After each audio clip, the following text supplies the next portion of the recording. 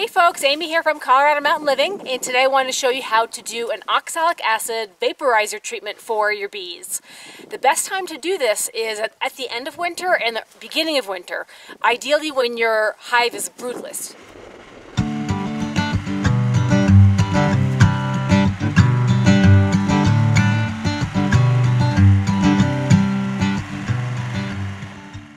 In order to do this treatment, you need a power source for your vaporizer, at least the vaporizer that I bought. So you need to hook it up to a car battery, or in our case, the more practical choice was using a tractor battery. So I'm having Lance help me out here by driving up the tractor as close as possible to the beehive so my cord can reach from the battery of the tractor to the entrance of the hive.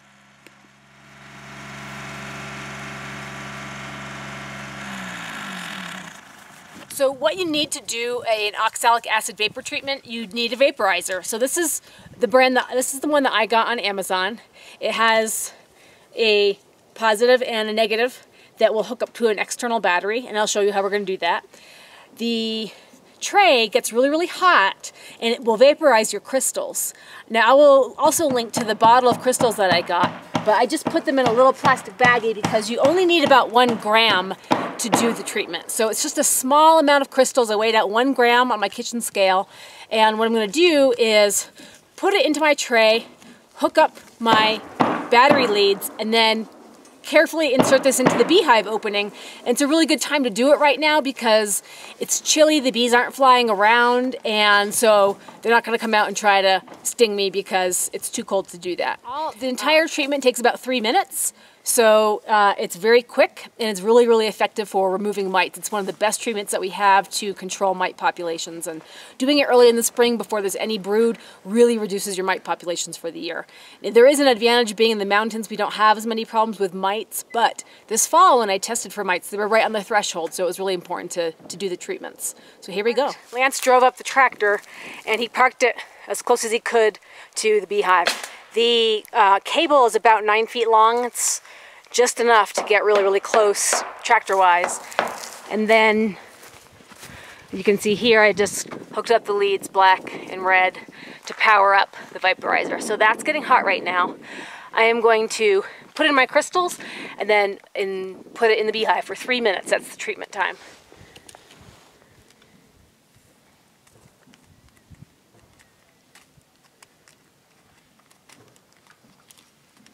It's not quite melting, it hasn't really heated up yet, so I'm going to let it get a little bit hotter.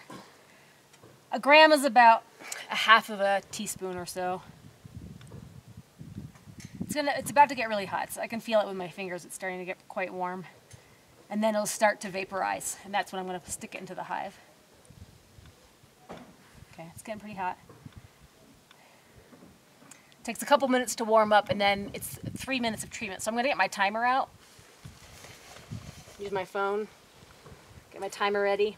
Okay, it's starting to vaporize, so spread it out a little bit.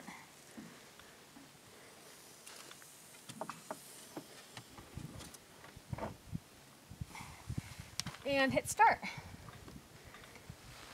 Oxalic acid is a natural acid. It's actually uh, occurs in plants and those little tiny green clovers, if you've ever chewed on them as a kid, the little ones that are heart-shaped. It's not harmful to the bees, but it is strong enough that it will kill any mites present. One of the things uh, to ensure if you're doing oxalic acid vapor treatments is to make sure your hive is as sealed up as possible, that most of the openings are sealed, like if you have any ventilation. So right now the hive doesn't have any ventilation. The only opening is the small entrance right here. So all of the vapor is staying inside the hive and that's um, making the treatment more effective. So I'm stop that.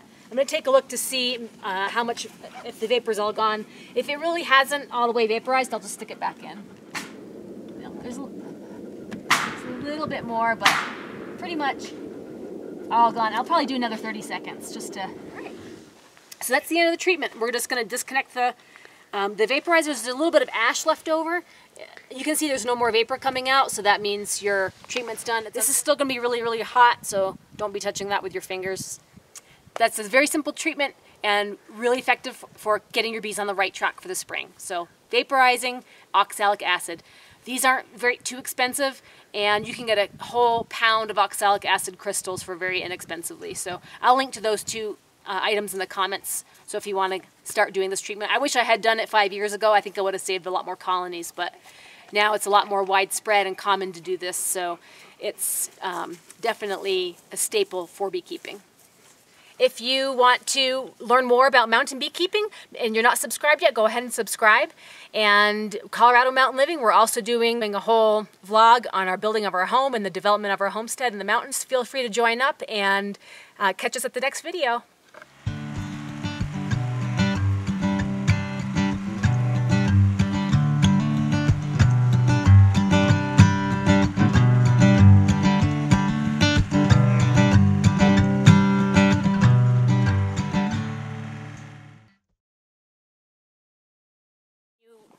If you can eliminate the problem of eggs being in your hive, then that, then you know you don't have it.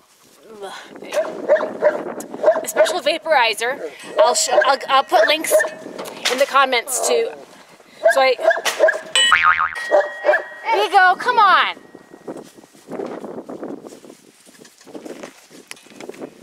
And it's freaking windy, and you can't hear anything. Um, Hey, be quiet, boy. Go lay down, Vigo. So, I use a...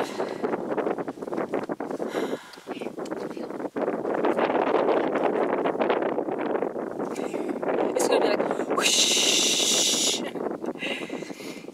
So I use a vaporizer. This is, um, I'll put a link to this in the, in the comments. This is something I got on Amazon. It's a, uh, it runs on electricity.